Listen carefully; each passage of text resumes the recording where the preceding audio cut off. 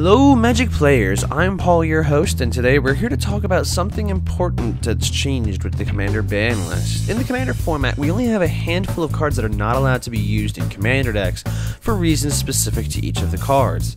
So, when cards are either added or removed to the ban list, it's important to note that the Rules Committee has carefully deliberated this decision and that this isn't some sort of knee jerk reaction to a card.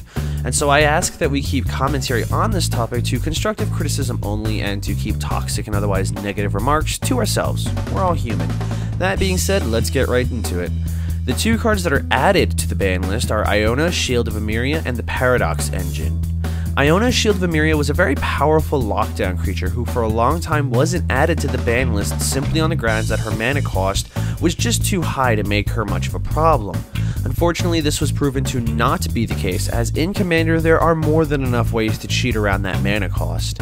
She creates problematic board states where she keeps players from actually playing the game, and in Commander, having three opponents that might share one or more colors can mean that Iona is going to shut off a huge amount of their decks, and this is a direction that the Rules Committee would like to stay away from.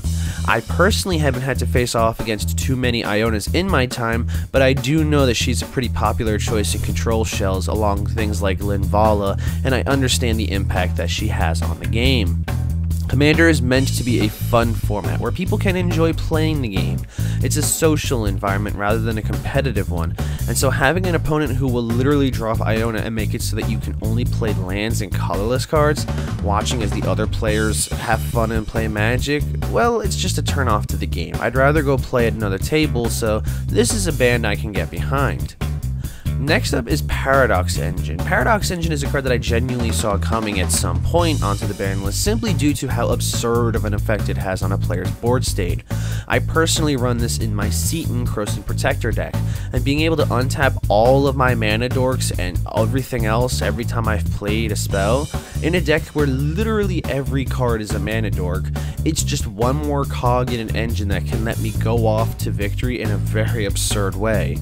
And yes, I will be the first to admit that it is not a fun card to watch someone else use, resigning to sit back while the other player plays out their whole deck while you sit there with your not as impressive board state, and when they win with it, I feel like it's an experience that I would not want to endure again.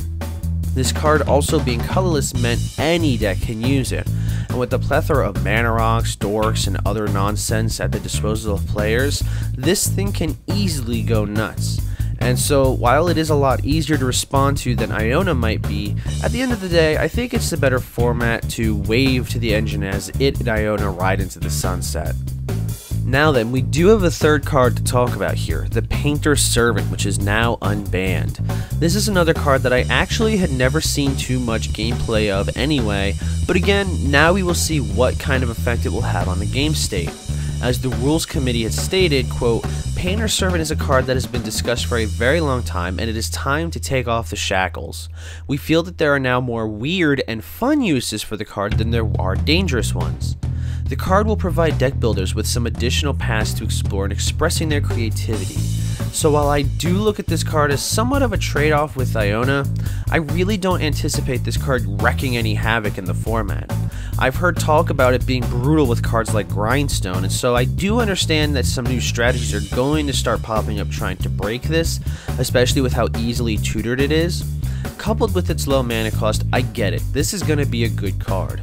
But as we'd seen with Protean Hulk, who was also previously banned and is now unbanned, I do want to see how the Commander format reacts to and shapes around this card and the decks that we will see with it before I can really comment on whether or not I think this ban was a good thing.